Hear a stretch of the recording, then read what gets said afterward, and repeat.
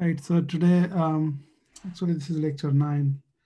Um, it's all about phytoremediations. Phytoremediations means uh, using plant uh, or vegetations to remove pollutants from groundwater or soil. Uh, what we are going to focus mostly on groundwater today, uh, but it's the same concept as uh, removing contaminants from soil. Uh, just one extra step, uh, plant directly cannot take out from soil. Uh, the contaminant has to release from soil to water and before that the plants can take through water. So again, it's just one extra step. the dispersion has to happen. The soil has to release that first because you can't really take soil particle inside the plant but there are other ways also. We'll just give some um, uh, differentiations between those two processes, but uh, it's the same concept. Um, few announcement. Um, homework three, it was due to yesterday uh, or today actually. So I extended it to February 4, uh, Thursday midnight. Uh, so you have two more days to work on it. And this is the last homework. Uh, Or, originally we had another homework, which is not quantitative. I just removed it and what we're going to do is we're going to solve that in the class so that you have some practice. But until this homework, you have everything that you need for the midterms long questions. Short questions will be related to quiz and other factors. So uh, you already have being familiar with, uh, with it. Uh, again, project outline, I have, uh, you have to the moment I meet with you and you discuss with me, that's I count that you have worked on it and then continue to evolve with that. So meet me at least once. Uh, I know that some of group I have not met, some group I already met, uh, some group even twice. Uh, so it's very helpful for you guys to meet 10, 15 minutes. You don't have to work on something to meet me. You, you can just come and discuss uh, what you think about and we can work together. Um, the whole idea is to learn how to process, how to start with outline. So set a time with me uh, or TA, uh, whichever you prefer, it's fine. Mm, but um, as a group, you should um, take that initiative and have a um, Zoom link on your own so that I meet for 10, 15 minutes, then I leave, you guys can continue to discuss. And you can use the same Zoom link for the throughout the quarters to meet uh, your colleagues and uh, discuss the project. Again, office hour uh, is two to three. I know like two or three students shows up uh, every every um, week. Uh, if this time is not preferable to you, I know that 25%, 50% at least, accept more than 50% say this works for you. Uh, so again, it's not like mandatory that you have to show up, just to let you know that it's there. Um, so every week, Monday, 2 to 3 p.m., so I'm there. And then upcoming exam, uh, quiz two, uh, release the solutions or not the solutions, the grade. Uh, I'll discuss that at the end of this class uh, about uh, the scores and all that. Um, but quiz three is every two weeks we have a quiz. The idea here is that you you learn the concept. There is no much, not much homework. So you're just learning the uh, simple questions so that you know how to apply those for your project. So quiz three will be on lecture eight 9 and 10. So 8 is last class on bioremediations, 9 will be phytoremediations, and 10th will be nanotechnology.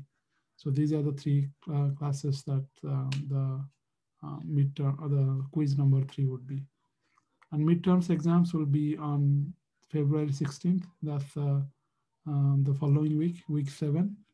again, it's around two hour. Um, one of the student asked question, it's going to be as even though I said three hour in the C153, it took longer. Uh, I learned my lesson. I want to tell that. Um, I also learned what not to do. Uh, I don't want you guys to spend more than two hours. No, that's my intention. Um, but I severely underestimated uh, in C153. Uh, so this will be uh, a two hour exams, uh, but I'll give you three hours here. so that time is not a constraint. And the question will be very similar to homework, at least long questions. Um, so there will be two long questions and one um, multiple choice. Uh, the first questions will have 10 different short questions, like how we see 153. But it's a small, fewer number of questions. Uh, the long question, you have only two. Again, it's on homework one and three, uh, essentially homework two and three. one is not really, I don't know whether you have a lot of calculations, but if there is a calculation that's related to, I think, short questions. Um, again, um, uh, midterms will be up to uh, week five.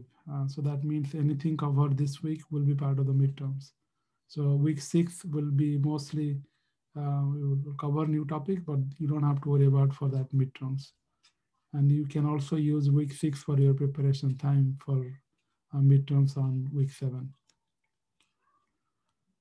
And uh, that's all. So any question? Let me see chart window. Um, okay, so there is a um, is Langmuir equation given article before the table of. Uh, so let me discuss the homework uh, pretty quickly because somebody asked um, the question. So let me um, just open the homework and see homework number three. So let me open the question so that you can all see what I discussed. Okay, so um, let me do one thing. Let me add a new slides so that um, let me see how do I add a new slide.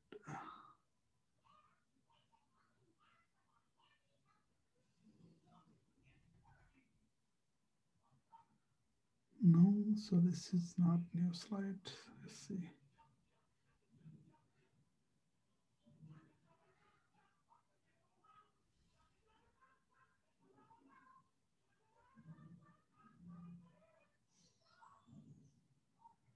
Hmm.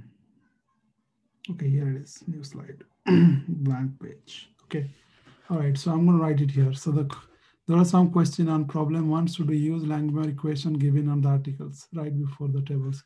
Yes, use the Langmuir equation. And Langmuir equation is same all the time. So if I uh, open the articles, the Langmuir equation was given is QE is uh, QM BCE divided by 1 plus BC. So let's see what those numbers are. CE is the concentrations, concentration in water after absorption. This is key, not before absorption. This is after equilibrium. And that means contaminants are absorbed already after absorptions. And QE is the concentration in, in solid. So the unit is usually milligram of pollutants by gram or kilogram of um, solid, which is soil or activated carbon or anything that you were thinking about. This is milligram of pollutants by liter of water. Okay. And so QM is the maximum amount of contaminant that can absorb on, on the on that particular solid. So that's a constant, okay? And the unit is same as this unit will be same. And I know that some people ask, some somebody asked on the campus where B is also a constant and it has no unit. So you can see if you see the matching the unit, uh, this Q unit has to be same as this unit. So these two should be canceled. Um,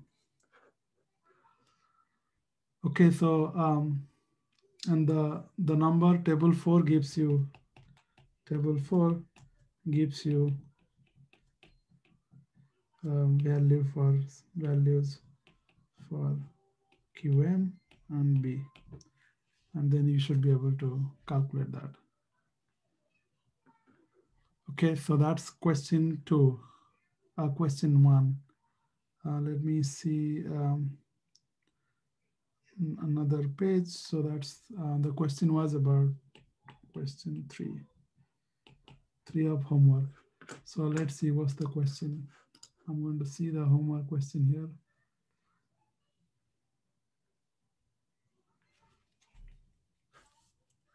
So um, if you open the handout, so what I'm going to do is I'm going to show you the handout. So that question is already solved in your handout uh, example 9.2 and uh, so exactly that question is solved for one one uh, one contaminant. So follow that one but what i'm going to do is i'm going to show you on the ccle so that you should be able to cover that um, so let me see how i on share okay that's uh let's see where this one is. Notes Okay, so if you, um, let me share the screen so that you know what I'm talking about. So stop share, share screen, that's uh, Okay, so if you see, this is um, CCLE, so I'm on week three. if you go to uh, week three, then there is a call um, reading Exito. So if you open that one, you have this book chapter, physicochemical processes. Then you have air stripping, tell you about everything that you need to know, uh, fundamentals that we cover. And then you tell you a little bit more about different factors that we don't have to remember all the things. But the question you want to go for is this, example 9.2. So if you see example 9.2, it, it gives you all the, what is the contaminant inside, what's the transfer rate, temperatures, Henry constants, and also give you different ideas, column diameters, heights, all that factor. And then you have to calculate uh, what should be the height of the stripping tower so that it can remove uh, the pollutants. So um, if you follow this in every steps, it's uh, it's first calculate liquid loading loading rates. So liquid loading rates is the same as flow, uh, flow per unit area. Um, but you know if you see how the um, the loading rate, the units here is moles moles of water per second per square meter. Okay, so that means uh, this is second. But you can also do the same thing as if you say uh, kilogram of or gram of water per second per meter square. It's, it's, it's okay, whichever unit you use. Here they use uh, uh, moles per water and you know that 18 gram equal to one mole of water. So it's, it's the same conversion. So first thing you have to do is you have to calculate all this value that's given here, right? So um, for instance, um, let's say the very first one, if I see solution, the very first thing I have to solve is STU because the G height is equal to NTU, number of transformation unit times STU. STU means uh, what's the size of the, um, the height of one transform unit. And STU is uh, L over MW KLA so KLA is the mass transfer, which is already given to you. This is a molar, so this basically M, MW, which is, a, let me just to be sure. Yeah, so everything else, you know, MW is a molar density of water. So this is a, MW is density of water. So that's 1000, you know that um, if you take one meter cube of water, which is 1000 liter, is going to be one liter is 1000 kilogram, kilogram. Okay, let me write this uh, clearly. Professor, we can't see what you're writing. Oh, I see. I share this one here. Okay, okay, got it. So uh, let me unshare this one. So I just want to write that, look at example 9.2. That's, that's what you have to do there. And then the extra step is you have to plot um, uh, plot concentration or the height as a function of different things. So that's you need Excel or Google Sheet or MATLAB or R or any any kind of graphical software that you you can use to uh, plot because you have the equations. You just vary one parameter, it will just give a different number. Um, so those are the um, the solution. So let me unshare this one and then I can share my screen. what I'm doing here.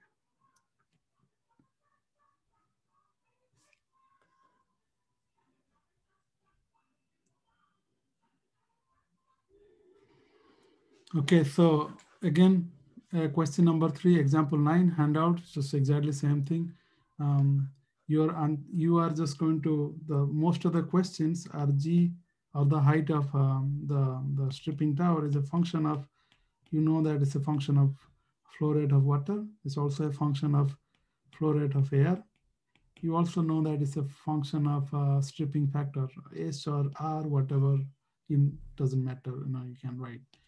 Um, so that's the unit. So as long as you know how the equations has these terms, then you should be able to calculate.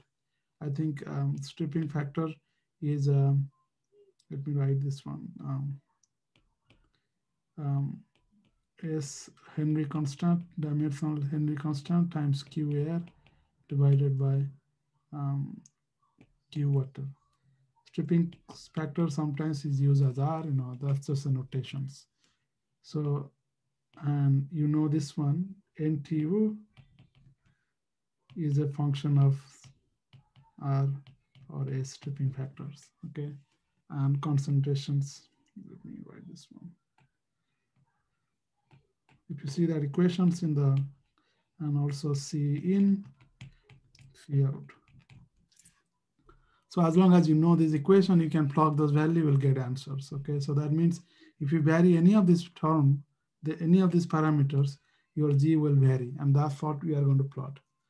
And how do you calculate that? This is basically that, you know. So um, the STU is the loading rate, which is the amount of water you add per units, uh, per unit areas per second or per unit time. Um, so that you can express as a moles per second per meter square or just gram per second per meter square. The key here is that the L and density should have similar unit.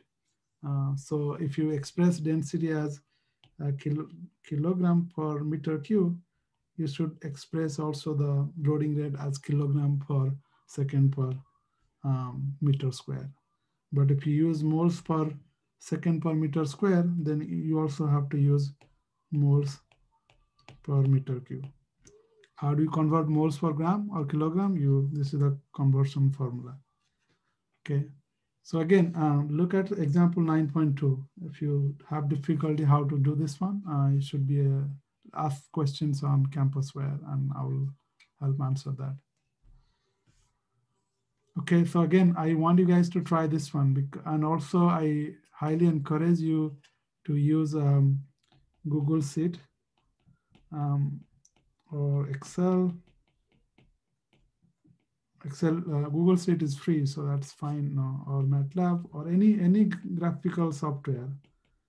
The reason I'm asking you to do this one is you uh, if you uh, if you save it uh, for future in the exam time, if I give you a question which is very similar to this, you just change the number, you get the answer uh, immediately. If you linked everything together. Uh, to, so that's why it's very helpful for you to invest that time now so that in exam time, you just don't have to spend so much time doing it again and again. Uh, so exam questions are similar, that's why I said. So do it, do it for uh, exam, okay? So save it. Any question as far as concept? I have a question. Um, for the loading rate, could we get that from the area? Because I thought we mentioned before in one of the other classes that the loading rate is equal to the water pumping rate divided by the area. Exactly. So this is flow rate divided by area of that unit.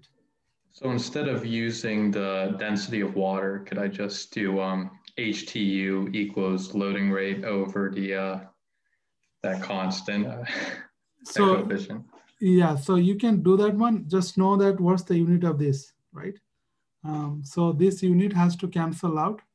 Uh, this unit is one, let's say KLA unit is one over time, okay? And L over MW has to be one over time. So as long as your units cancel out, so it should be fine. Okay, thank you. Yeah, this is basically you are saying how much, if you see what is that means here, you know, it's basically how much you are loading per second, right? So it's one over second. Loading rate is a, um, is a, uh, let's see, units, wherever that unit is. Um, let me check my, okay, so what I'm going to do is I'm going to tell you what my answer is for STU. So STU my answer is 2 point, um, 2.2 meters. Okay. That's my answer for um, what I got. You, you can check again. I'm not looking for final correct answer. I look for your process, so it should be fine. And if you want to know what, which one will fail, um, so in based on me or my calculations, what I found, benzene, uh, toluene, and ethyl benzene can be removed. This can't be removed if G equal to 10 meters. Okay, because the amount of the height required to remove or achieve that final concentration is more than 10 meter. Um, so that's just, uh, you know, this is just a, my calculation so that you see. But again, it's not the final answer. You should know the processes. But final answers are, um, at least the process, process is very important for you to understand, to ask, uh, answer short questions, as well as the, should know at least how to do it. And the graphs are already part of the slide. If you see the slides I made, these are actually the solutions the, the final graph. So you should match them or at least see if you get similar to that answers or not. All right, so that's homework. Uh, any other question? All right, so let's get to the today's class. Uh, so today we are going to learn about uh, phytoremediations. I know that many of you have uh, um, projects related to um, uh, remediations of uh, contaminated land. And phytoremediation could be one of the long-term strategy uh, where, you know, because it's basically using plants to remove pollutants from groundwater as well as soil. And plants are healthy, plants are natural, plants are, you know, that's pretty good, you know, that's like nature. So that's why it's pretty uh, um, attractive technology, but it has its limitations. So we'll learn about that. And briefly, I will explain how it works. You know, you will not go details about it because it's just a one class. Phytoremediation can be entire entire um, course on its own. Uh, so we'll not go for fully detail. You just know the principle. And then we'll also, most importantly, you'll learn what kind of pollutants can be removed by phytoremediations because that's essential for your project. If you have a site, you know these are pollutants, you can consider phytoremediations at least to some extent. At the end, we'll do some calculations. You'll also see what's the design constraints where you can apply phytoremediations. Uh, so before that, I just want to say that today, February 2nd, is World's Wetland Day. If you know what is wetland, it just sounds how it is, you know, wetland, you know, any, any land which is filled with uh, at least uh, some water, shallow water. And you can see that the marsh, it's like here, it's a nice pictures, illustrations. Wetland um, remove a lot of pollutants. Uh, wetlands are the nature's cleaning. Wetland, wetland is the nature's wastewater treatment plants. Okay, so if you allow the water to pass on a uh, surface like here, um, the plants are able to remove some pollutants, and uh, the microorganism at the near the sediments they remove way a lot more pollutants, and also the um, sunlight can remove some pollutants. So this is how nature remove pollutants uh, in uh, contaminated water. And so, um, so just know that this is a, this is one of the green infrastructures that we'll cover next quarter. So wetland is one of the green infrastructure. Um, so again, uh, wetland plant is the one of the um, significant design component of wetland, at least some of the wetland. Um, plant doesn't have to be there to design a wetland, but um, um, there is natural wetland has plants. And um, so phytoremediation is part of the design. So let's think of what is phytoremediation means. You know, phytoremediation means using plants to remove pollutants, but it's not like uh, just one process. There are many different processes. So let's go through one by one. So always contamination start from the roots. Okay, that's where the contaminants move and then move upward. So think of, let's say, what is the first term here? Phytoextraction. What does that even mean? As you see in the picture, phytoextraction means know, root is going to take up some of the pollutants away. So here the pollutants are in, Hmm. And you can see this is M plus, it's usually metals. Okay, so metal, organic pollutants, it has to be small enough molecule and it should be able to in, um, get into the, the root structure. So root has opening, you know, those are has to be have uh, find a way to get into that. Not all pollutants can get inside um, because root use transporter genes. Uh, uh, so some genes, you know, that are uh, the transporter molecules. It bind with that pollutant, so it takes it inside. Some pollutants can directly get inside. So those are the mechanism you have to understand. But phytoextraction means basically a sponge. The or the think of you know we use a um, when we drink water, if you use a straw, that's exactly how it is. Now the roots are straw, they, they absorb or the, uh, remove the pollutants from soil. And then they can transport into the plant root. If you think of phytostabilizations, here the difference between phytoextraction and phytostabilization is root doesn't take anything inside. What it does, it, it lets the pollutants, uh, so it's like a defense mechanism. So phytostabilization means if a outside root, okay? And it is what it sounds like is stabilization means you um, you uh, you fix the pollutant at one location so that it don't move around in the groundwater. So phytostabilization, the, the root mechanism, the common mechanism is precipitations. You know, if you see what does that mean? So what precipitation means now? Precipitation means you have, um, you know, if you think of, uh, that's mostly salt precipitate, the same way as, or another way to say is uh, if you have uh, a pollutants which move around, that's become toxic because, you know, groundwater is going to be polluted because of that. But what root does, it, it, um, it release some kind of um, chelant or some kind of, uh, um, it can change the chemistry around the root so that these pollutants will start accum start aggregating with each other. Not aggregating, they're like sticking with each other, like you see over here.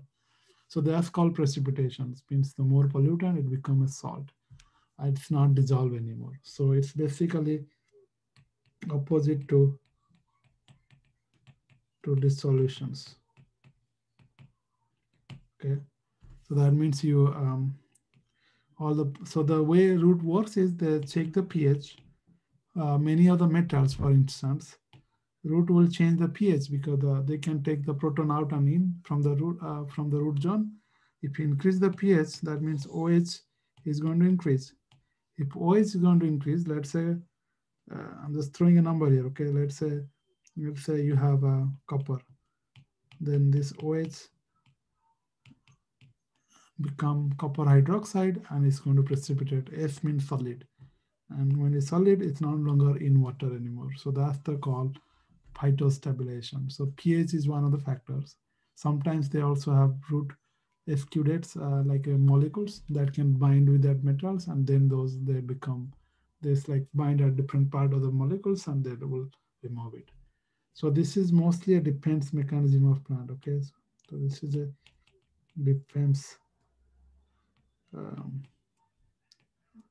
mechanism.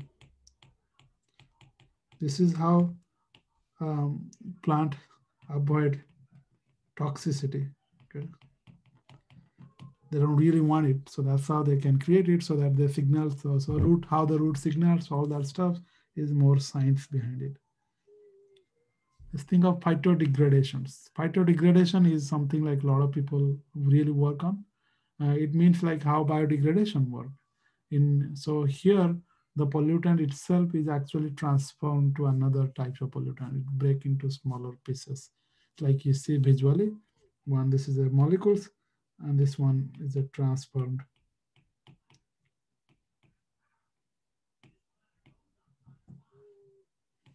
original.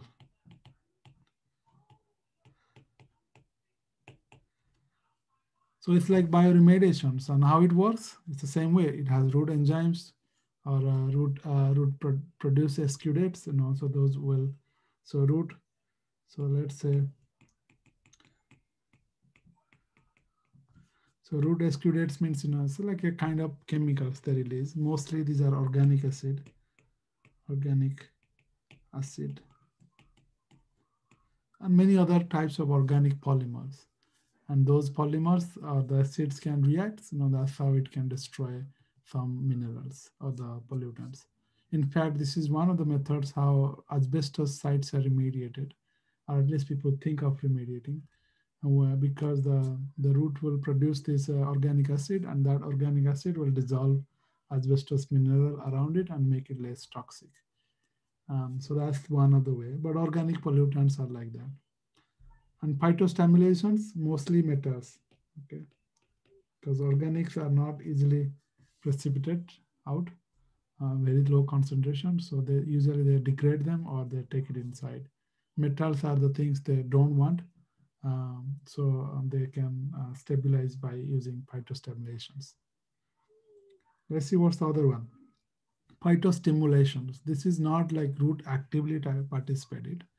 Phytostimulations means uh, it, uh, it stimulates the microorganism around it. So you have, let's say you have mm, bacteria or fungi presents in the soil, right? So those, those bacteria and fungi uh, can take those pollutants and degrade it uh, into carbon dioxide.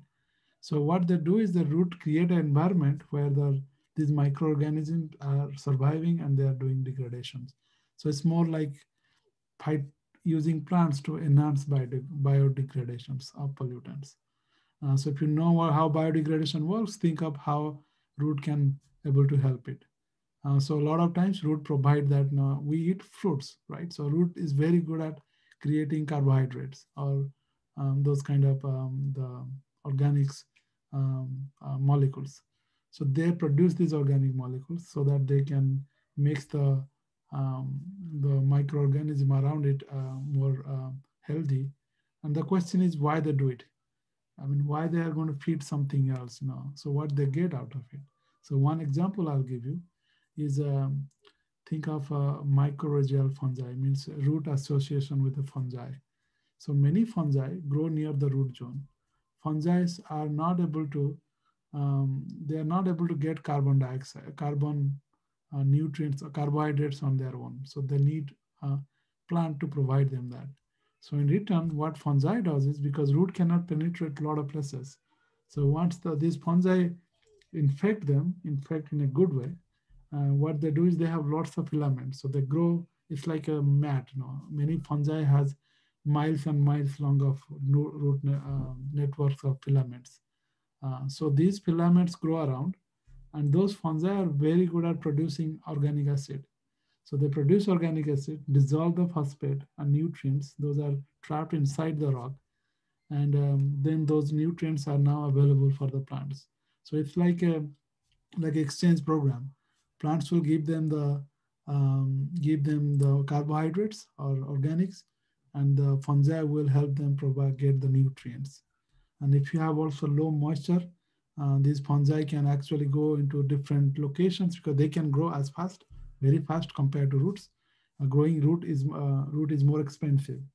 Uh, so it's like you know you you have a delivery system. You know you don't want to go to Pizza Hut. Somebody's delivering you. The same thing. Fungi are very easy to move around, not move by themselves. Uh, they can move uh, because of the filaments growth.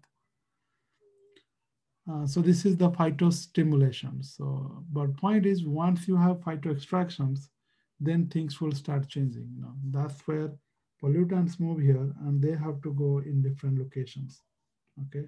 So now once the pollutants are inside, what happened to them? They are they are in water and those are carried by the uh, the the stomach, the cell, and uh, they go move up. You know, so once they move up, above plants, there one of the three things could happen. Phytoextraction, again, it can accumulate in the um, in the in the leaves. And so if you accumulate in the leaves, you can take up the leaves and after the end of the all the leaves fall down, you can take the leaves out and you can extract um, those uh, elements. That way you could be able to harvest if you have a sufficient amount. And uh, phytodegradations, the plant itself can, can degrade inside the leaves and convert them to, to macromolecules, okay? Uh, so why plant do that? Because there are some plant enzyme which looks very similar to pollutant. So they think if I take these organic pollutants, they could I could change it and functionalize and use them as a uh, similar product. So that is also another factor. And the way to study is you you have organic molecules. Basically, anything you talk about here, this can be metal, but phytodegradations, anytime you hear degradations, is organic because metals cannot be degraded. Okay. So organic molecules um, is transferred um, transform to plant metabolites. Okay. So that's phytodegradations externally. And that's how they can they, uh, they can uh, assimilate in the fruits, uh, all that other factors. So that's why a lot of times people talk about applying um, applying um, recycled water on farm so that they can reduce the cost. But this is the exact problem. You know? So if you apply recycled water and there are some pollutants uh, which are present, micronutrients, those, uh, those plants can take it and they can also accumulate in uh, spinach or the fruits and all that factor. So you don't want to eat them if there is a way. Um, so that's another thing to uh, check. The last one is basically plants looks like a, it's like a straw, which takes the volatile organic compounds, they release it. They take it, they didn't realize this is something they don't need it. So they, uh, because the, the biggest factor plant do is a, is a water pump. If you think what plant do, plant is a water pump. Okay, so think of a pump. You have groundwater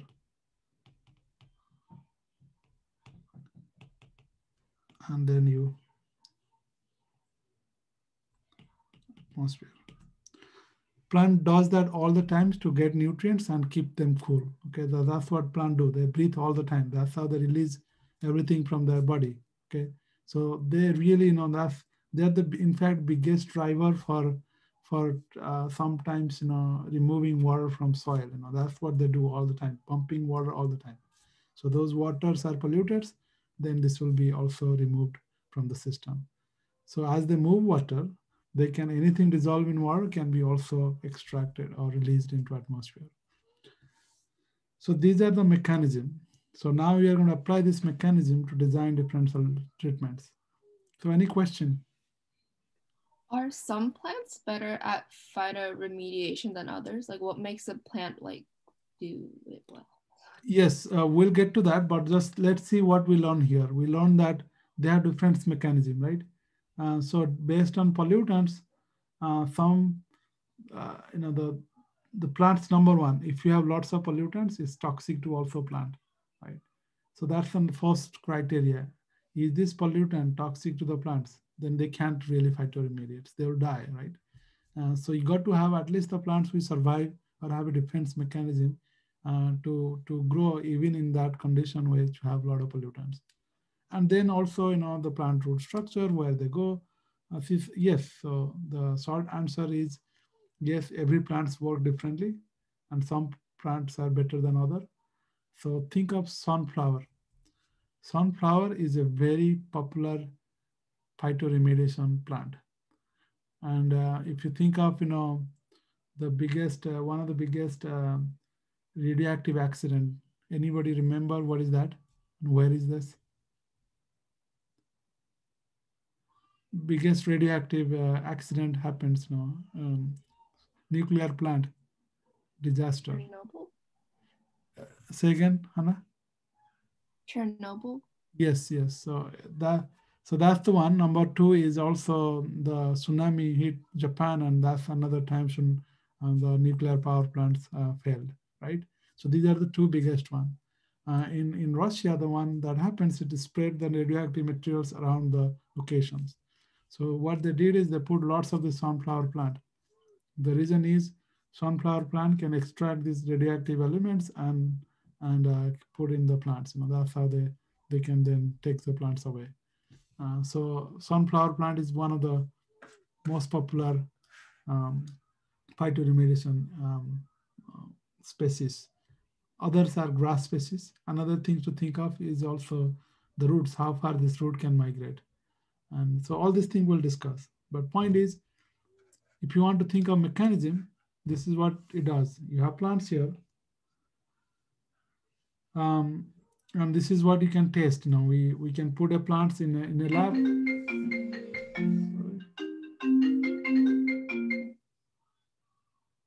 Um, uh, so um, if you have plants here, you know, these are the, um, let me see, this person is, should not call me this time. Sorry about that. I have my phone is off, but the same, everything is connected. So even my phone is off, the, the computer takes the call. All right, so this is how we do uh, plant, uh, plant uh, phytoremediation strategy, how, where they go, what happens. Uh, so we grow the plant and then we see, look at, you know, how much of the pollutants stick with the root because they can directly just absorb on the root.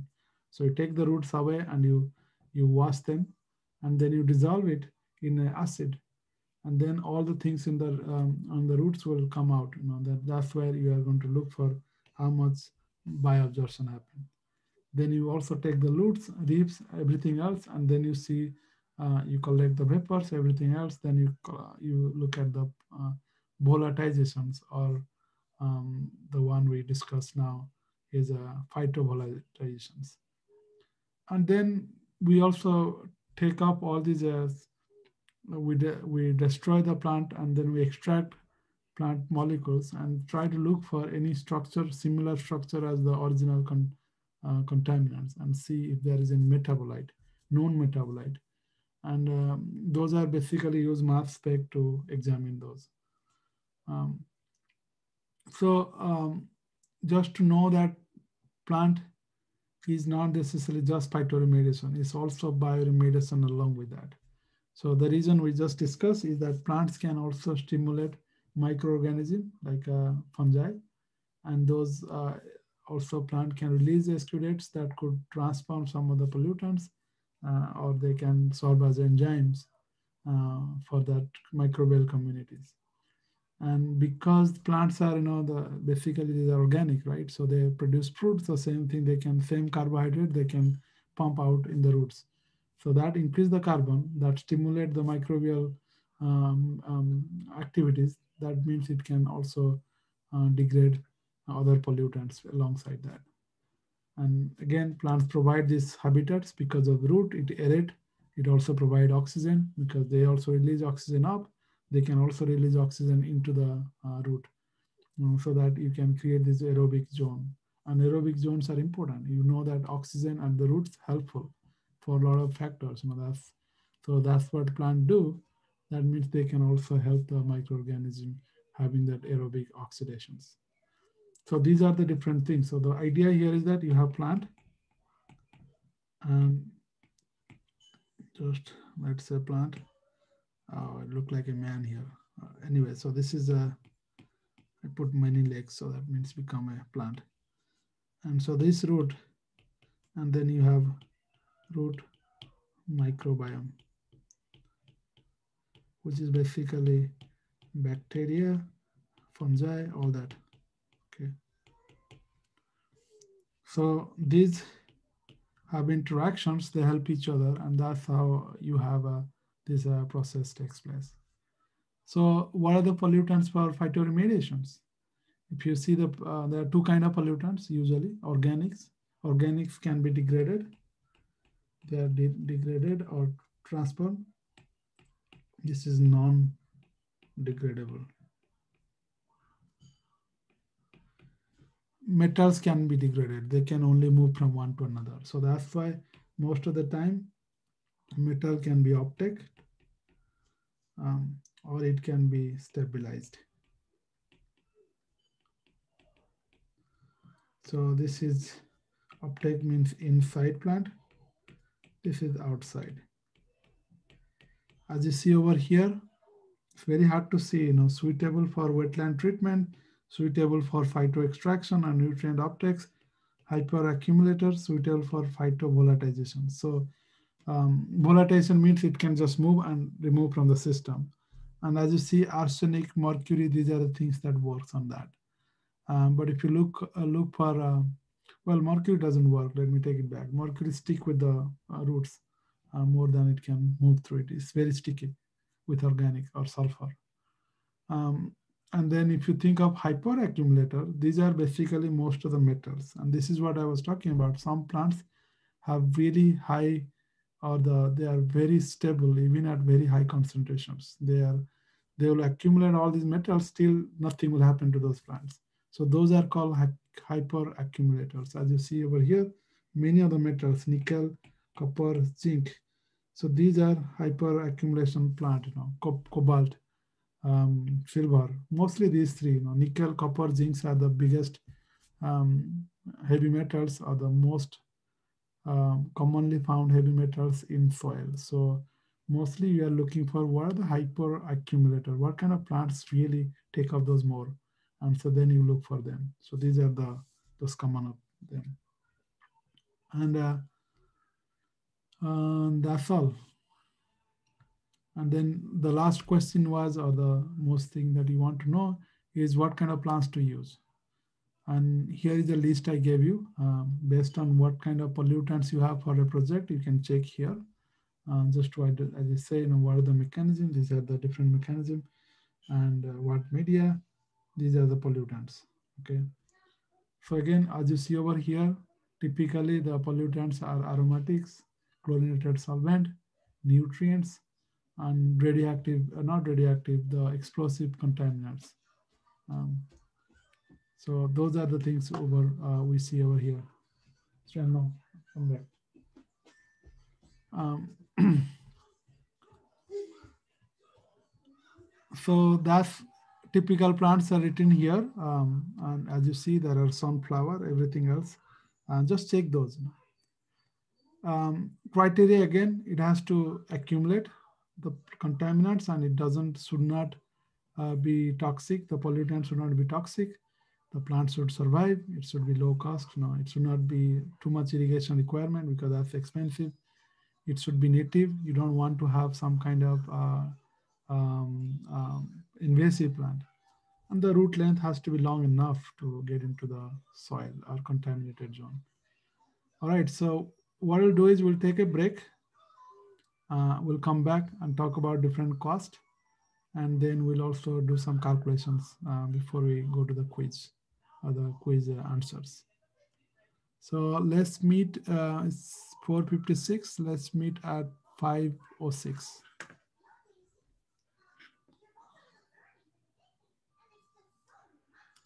Let me pause it.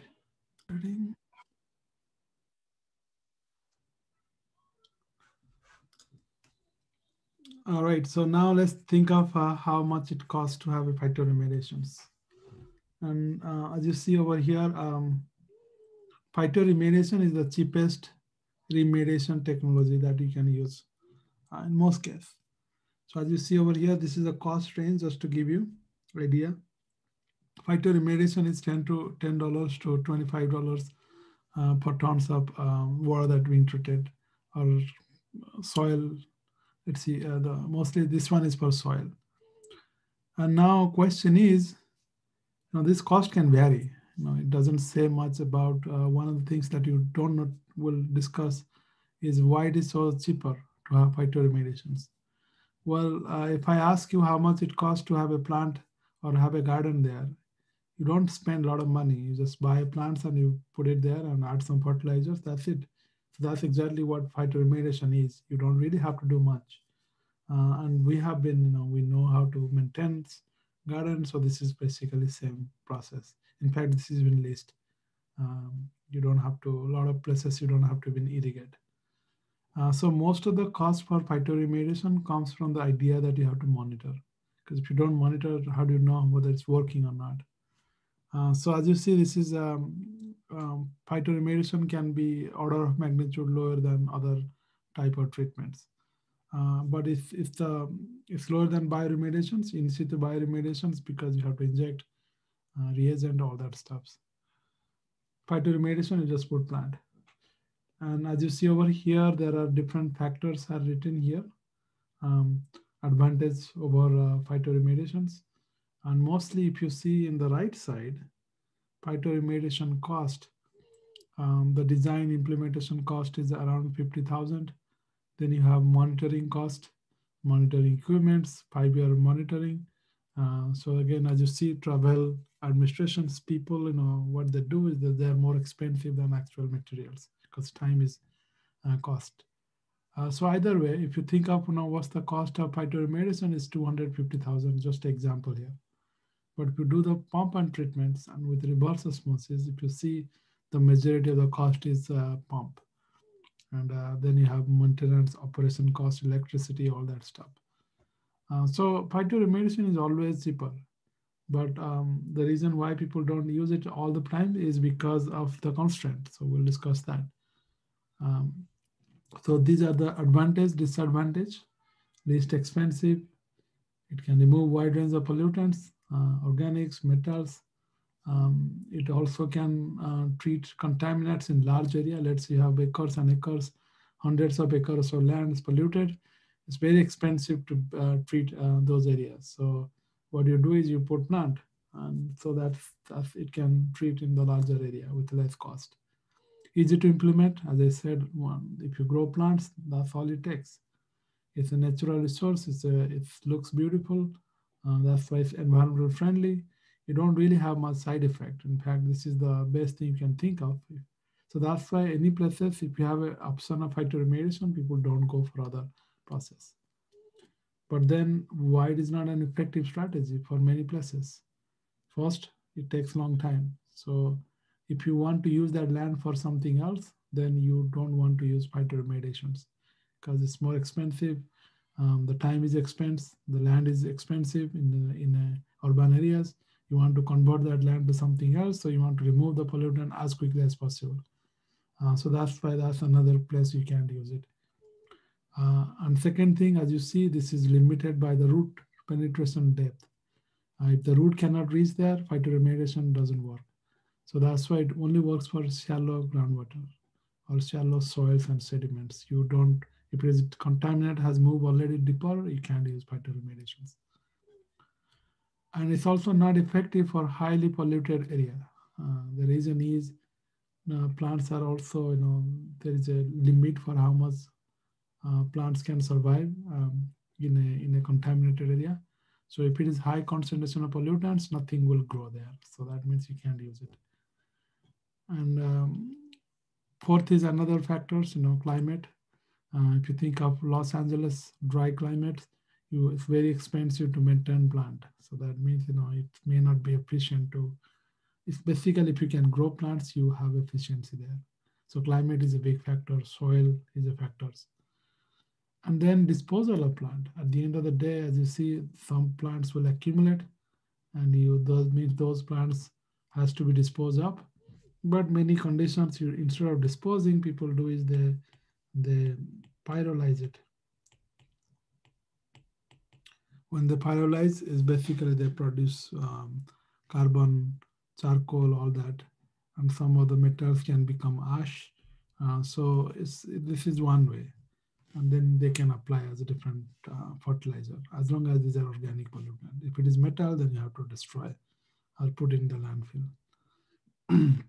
But this is, a, so these are the advantage, disadvantage you have to think of.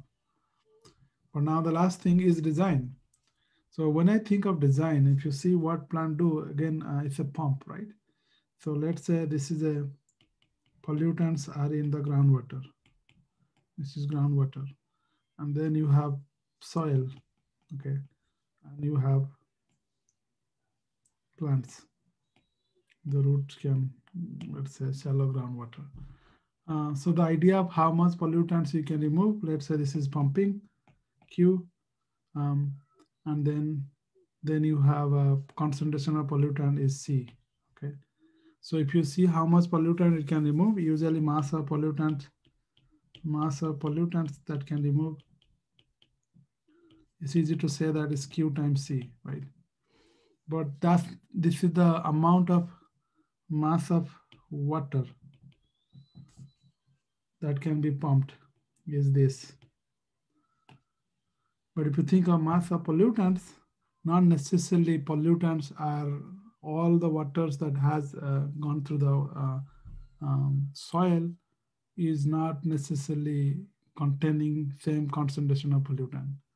The reason is plant root is also a filtration system. They will not absorb all pollutant. They will discard, they will uh, reject some of the pollutants. So there is a acceptance level. That's like a gatekeeper, you know. So the roots has to uh, take those. So there is a factor here. So if you think of mass of pollutant,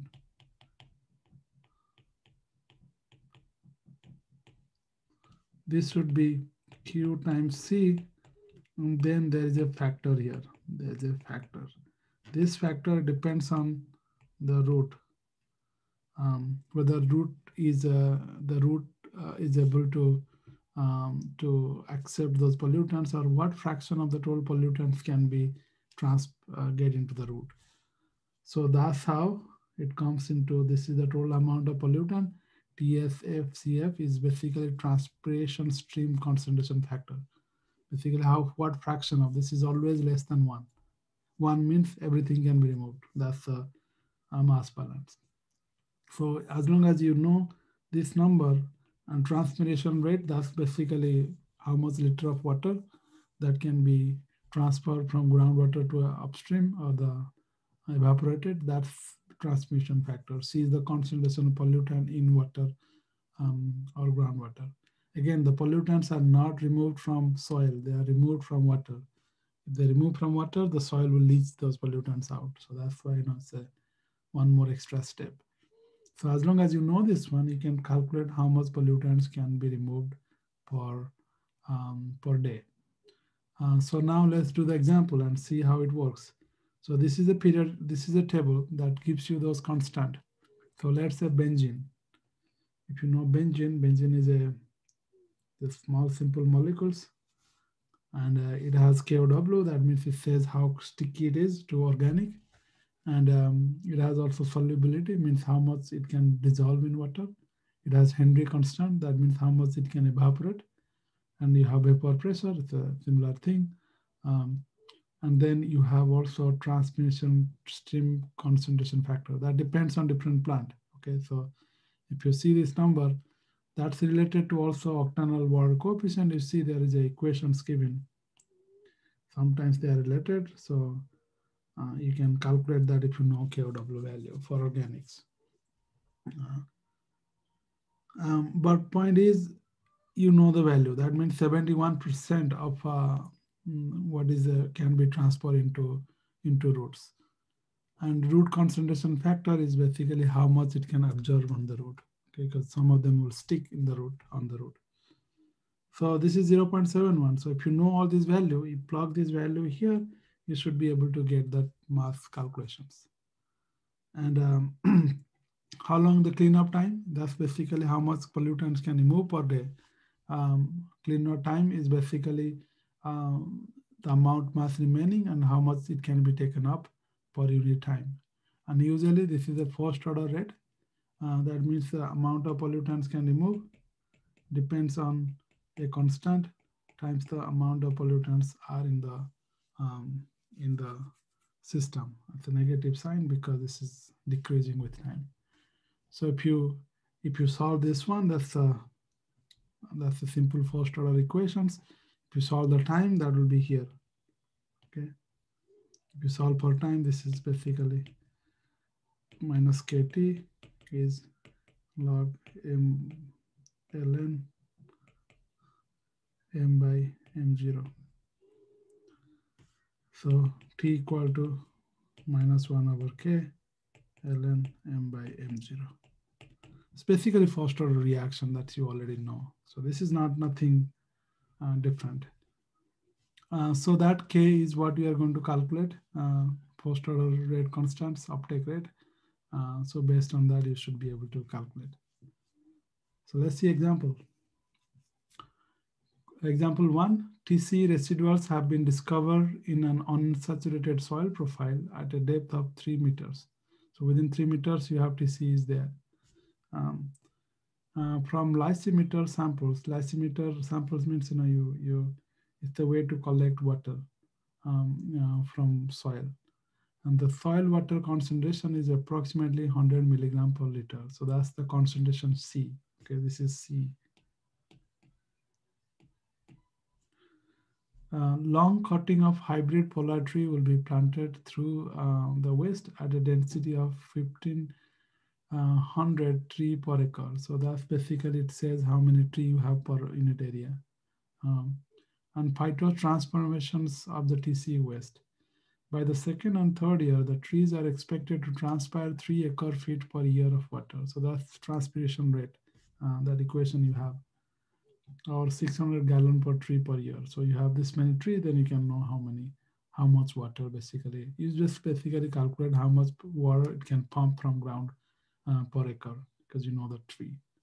Estimate the time required for the cleanup if the mass of the TC per acre is estimated 1000 kilogram per acre.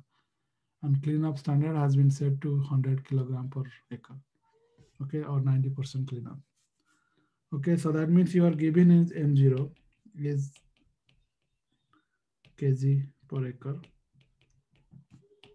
MT is 100 kilogram per acre. So that means how long it will, um, you're basically asking for time, okay, at the time. Uh, time you know, um,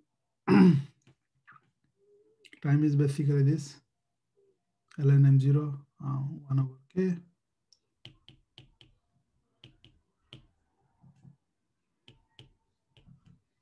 me see.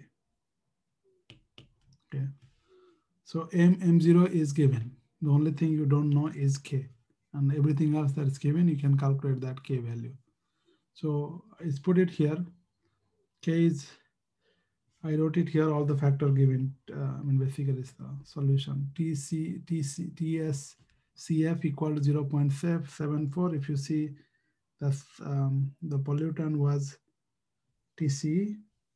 So if you see TCE, that's here, you see 74% efficient. So that's here, 74. And basically you calculate how much water per year per acre is going to be uh, transmitted um, because says how much gallon of water per tree per year, then you know the number of tree, that's 1500 tree per acre.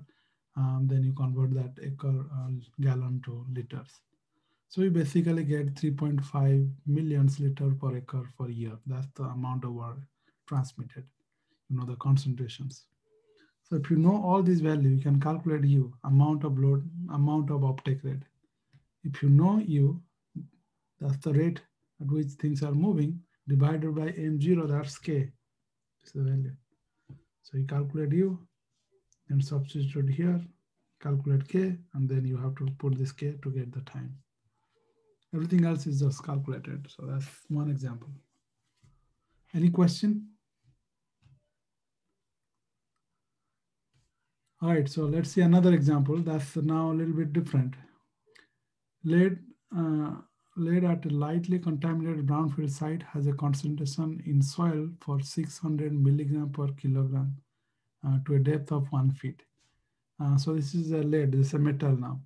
A cleanup standard has been set um, to 400 milligram per kilogram. So you have initial um, concentrations, initial concentration in soil salt equal to okay, initial is uh, 600 then C time is 400 milligram per liter. Indian mustard or brassicas um, that particular uh, grass will be planted, fertilized and harvested three times each year for phytoextraction. The idea here is that metals will uptake that lead and assimilate in the body. Using small dose of EDTA, it is possible to achieve concentration in the plant um, in the plants for 5,000 milligram per kilograms on the dry weight basis. So it's saying that this much a plant biomass can accumulate. Uh, EDTA is a EDTA. What's the thing about EDTA? Here? EDTA is a is a chelant. Chelant means uh, it's a or think of a molecule, organic molecule, which has many functional group that can bind with lead. Uh, it's like hemoglobin is, is very good at binding iron, and that iron is basically binding oxygen. So same way, uh, think of hemoglobin, it's a EDTA is a very similar structure. It can also bind um, that um, lead. So it's organic, organic um, basically it can hold bind the lead. So if you add this one, it dissolves the leads from soil and the soil, then now it is dissolved. So that now uh, that plants can take those together. And harvested density um, for three tons of dry matter per crop. So every year you can create three tons of uh, soil, soil of the plant and three ton per plant means you know how much of lead is 500 milligram, all that stuff. Estimate the time required. So again, I put the solution here, you know, just basically, you know the rate, how much they can accumulate per year. And then the difference is the mass that you need to remove. And if you divide them, you'll get the time. And now all about is finding that U. U is the uptake rate. Uptake rate, you know, it's a 500 milligram per kilogram. That's the amount of each harvest will have. And then you have how much harvest, how much plants you have produced, nine tons per acre. So multiply that one. And then you have these numbers. All these numbers are there, you know, just put those value. I let me see anything else that I miss. Yeah, just take this one value and uh, you should be able to get those answers. But again, check later so that you know if you have any. But basically, it's a mass balance calculations. What's there, how much is removed divided by what's the rate at which you are taking out, you'll be uh, done. Again, I just want to confirm that phytoremediation is not viable for every places. You got to ask these questions for your project. Can it be cleaned up at a site below the action levels? Because not necessarily it takes long time. Um, and what time scale? That's most important. If your time scale is very short, you can use phytoremediations then you have to think of does it create any toxic intermediates or products? Mostly plants don't, but sometimes they destroy and any bioremediation can break into something that could be more toxic. So you could check that one. Um, is it cost effective as alternative method? The reason you know that phytoremediation is cheap, the, the cost come here is because of the um, other factors like uh, time. Okay, and then does the public accept the technology? Because you know sometimes uh, your client will be essentially looking for how things, how quickly things can be done so that can develop the land. And so then you have to think of all that aspect. And again, uh, case study, this is the handouts I uploaded. So you can see over here, it's a EPA uh, site. So the idea I put it here is so that you can see what kind of plants people normally use. As you see, they are kind of similar plant, same plant all over. Uh, sunflower, uh, Indian mustard, uh, you see these uh, plants over here, you know, so then these are the things people use. So when you do your own phytoremediation project project, at least you know these kind of sites there. And um, and again, just to give example what they did, um, how this different way works. So these are the things I put it here. Again, this is for your reference if you do use phytoremediation as one of your uh, remediation strategy. So long story short, you think of phytoremediation, think of it as very cheap technology because you just grow plant. Uh, but just know that it takes longer. So that means it's not short interval. You have to spend long time uh, to get it right. So that means, you know, if you're not going to use that land very soon, uh, otherwise you can use phytoremediations. But you can combine with phytoremediation and other technology. Uh, for instance, you can scrape all the highly polluted soil so that now you have low contamination soil and then you uh, grow plant there. Again, it depends on a lot of variability, climate, um, plant survivals, contaminant types, how they take, what they do. You have to think of all that. Okay. Um, there are some metals that can be taken by plants, so that means you can use it. There are some organics that can work, you know. So you got to think of all that aspect of it. So that's all for the phytoremediations. Now what I'll do is I'll go over the quiz so that because uh, the quiz answer.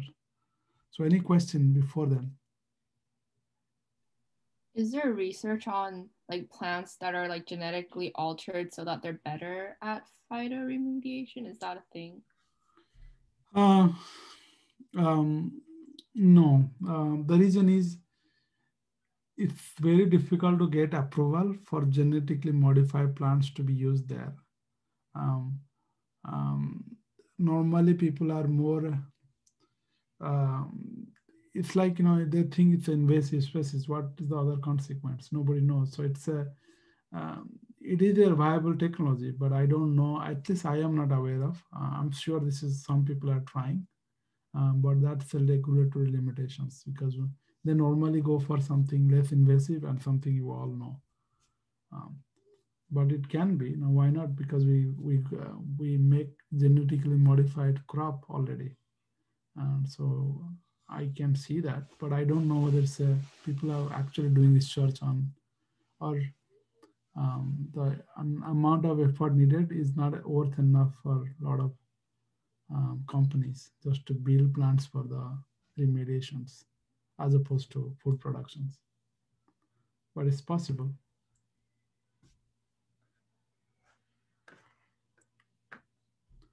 Any other question?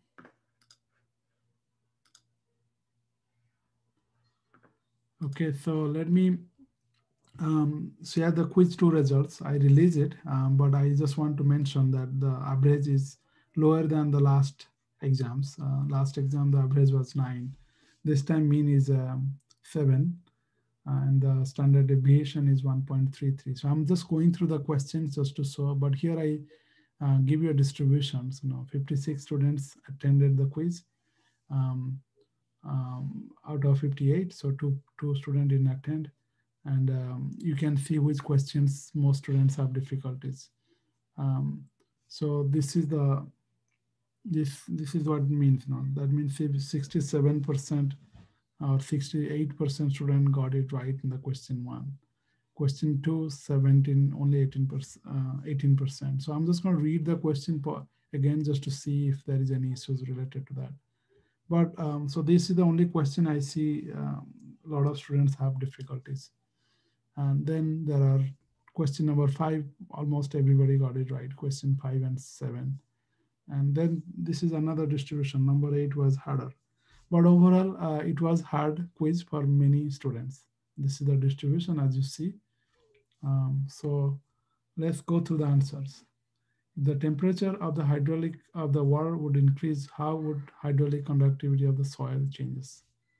So hydraulic conductivity, if you know this increase, the, that depends on the on the intrinsic conductivity and the and the density um, as well as viscosity. Viscosity. So if you if your viscosity, um, I think the opposite. It's writing wrong way. Time viscosity divided by um, density or specific gravity. So that means if your viscosity is, is not viscous, then the water will flow more easily. So that's how the temperature is. Temperature doesn't affect intrinsic permeability, which is soil properties, but it does affect water properties. Uh, water can be less viscous if it's high temperature. So there is small change in that. Uh, so um, if the temperature increases, viscosity increases, the usually the answer is increase. Very small amount, but it does um, if soil A has high organic carbon than soil B, um, the retardation factor of an inert pollutant in soil A would be higher than soil B. Is this true or false? Uh, so uh, I say that you know retardation factor. If you see what is the retardation factor, is is um, KD 1 plus KD pore density divided by uh, porosity. Okay. So this KD is what the organic carbon means. Now KD is fraction of organic carbon times KOC. So if you see retardation factor, it it it, um, it means that if it is absorbed in a pollutant on soil, then the retardation factor will increase. The more absorption, that's KD, it will increase if that's the case. But here I said the retardation factor of pollutants non-adsorbing, that means it doesn't stick with soil. So that means KD equal to zero. So if KD equal to zero, R equal to one, there is no adsorption, it doesn't change. So that means it's not going to change if just because your soil change because it doesn't stick. So um, that answer will be false. Next question is between linear and Freundlich isotherm, which isotherm is suitable to predict exhaustion of adsorption site at high concentrations? So if you think of linear, what does that means, contaminant concentrations is directly proportional to the concentration of pollutants. Freundlich, on the other hand, says this is Freundlich. Okay. So if you plot this one, if your concentration increases, contaminant concentration will equal increase everywhere. You know? So this is Q. But if you plot the Q over C, that means it says that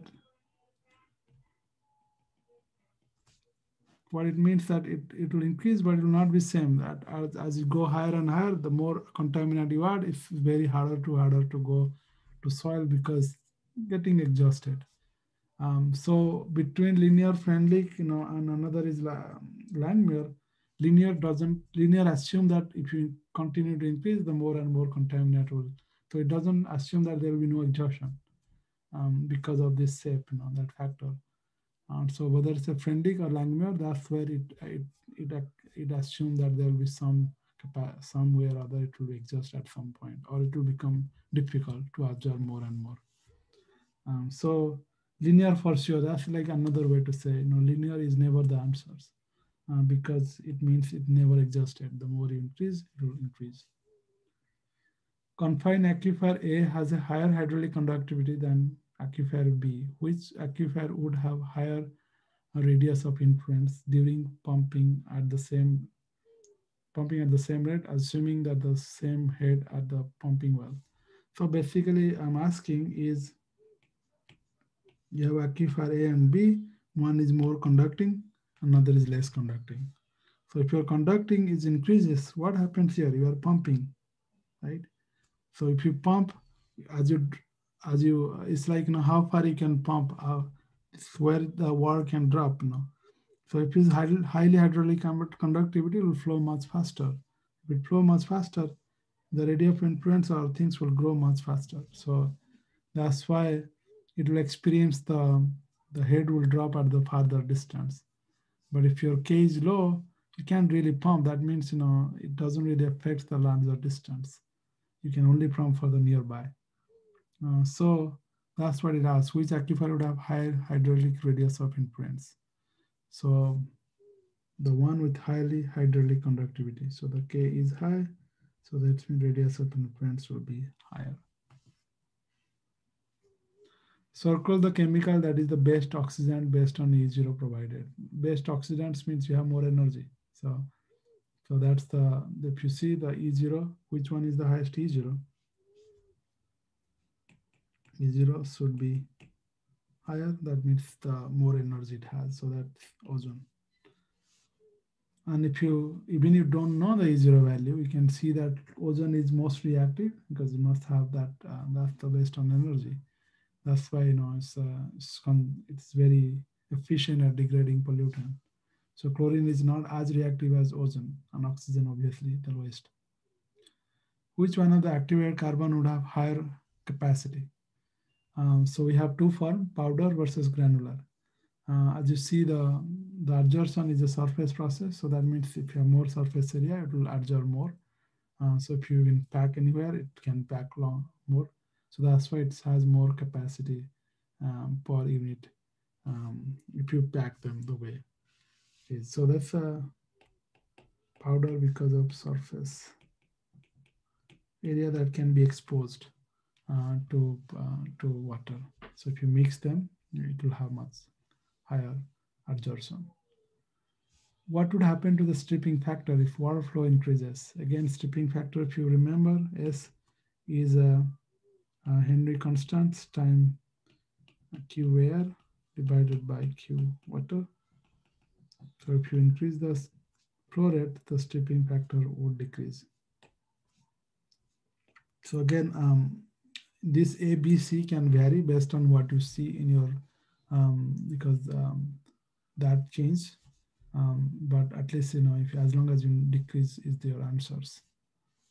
Um, what would happen to the stripping factor if the temperature of water increases? So if the temperature increases, you know that Henry constant is very easy to ex, ex, um, um, Henry constant would increase. It will more go to the gas is quickly. Uh, so that means uh, the it's easy to strip out stuff from from water um, if it is high temperature. So that's one of the factor design factor. You can warm the groundwater uh, for things to increase. So stripping factor would increase. Um, the last two, which are the? I have a question real quick. Oh, I, I, thought the dimensionless Henry constant would decrease with increasing temperature. Isn't it like Henry constant equals dimensionless Henry constant times uh, temperature and then uh, R? Let me check that equations. Normally, it depends on how the Henry constant is written. Um, Henry constant, if it is written as a concentration in air divided by concentration in water, then then obviously that's going to increase. Okay, so the one we always use is that uh, air to water.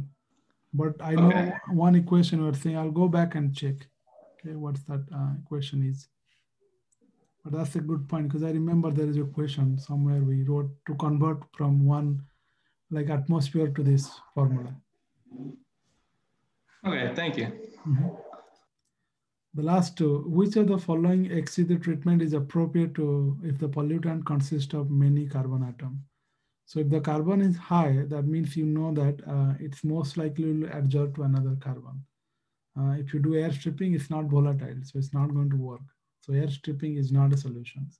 Advanced oxidation versus carbon adsorption. Again, if your carbon is high, it stick with much faster. Uh, if you have oxidant, it still will work, but you need a lot of oxidant, uh, lots of uh, strong or oxidation or contaminants, or chemicals. So adsorption is more efficient because of more carbon. Stick KD is much higher. Um, C12, that means KD is much higher it increases with number of carbon, right? Um, the last one is the hydraulic gradient is constant in a groundwater aquifer, then would uh, Darcy's velocity change based on the distance between well. Um, so Darcy's velocity, if you see, is um, is basically Q over area. And if you know what is Q, that's Q equal to K and I dH over dl or this is hydraulic gradients.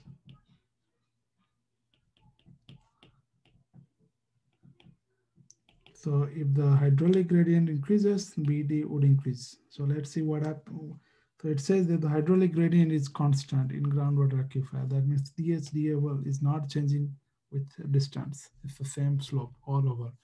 So whether you have a distance like, so what it's saying is whether you have longer distance or not, the hydraulic gradient is changing the same way. That means if your distance between well is different, doesn't matter really. You know, so all it's about dH over dl. It's a slope. The slope is constant. So based on that, you know, it's not going to change. Um, so that's the final answer. Uh, I I want to just mention. I know that you know some of you might think you know it's a low score or that but if you think as a whole class, it's not going to affect that much if you, it's just the one quiz. and first best of three quiz will be taken. So you can have one bad quiz. And second, if you have a bad quiz, it's just if you see it's uh, probably less, it's around 5%. So when you score seven, you got very small point, like less than 1% on around that. So you still have 99% to score from. So I would not um, um, worry too much about this one. Uh, just do well for the next quiz as well as the midterms. Midterms will be, you know, I think uh, if you've done homework, you should be doing uh, do very well. And again, do the homework in Excel or so that you can plug the value and you can get the answer. So it's easier for you to don't have to type even again or don't have to do calculator, do all these calculations. Um, so it's, it is what it is. You know, I, I think, you know, I also like to know, uh, like one of you mentioned, where you get confused. These are the feedbacks. I, it's important. Uh, so provide feedbacks anonymously or directly you know, where you thought the question was confusing or anyway so that I also change questions. Uh, next time when I ask question, I think of those um, those feedback. Because I know that in one of the quiz, one student lost the point because the question was like A equal to A, B equal to B, C equal to C. That's how I enter. But um, TCL is reshuffle it. So some people sees A equal to B. Uh, so um, I know that's that could easily get it wrong. Uh, so I was very um, I was very careful this time when I said question so that that doesn't happen.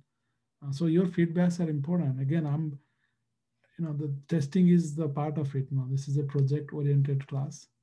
Uh, so I want you guys to take quiz as a way uh, for your own learning assessment as well as my own method of teaching. I, I like to improve. Uh, so your feedbacks are important.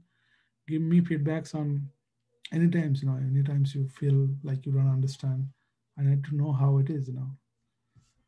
So that's all as far as today's class. Um, uh, so I'm going to stop recording, but if you have any question, I'll stick around because I know I'm meeting one group uh, for the for the their project.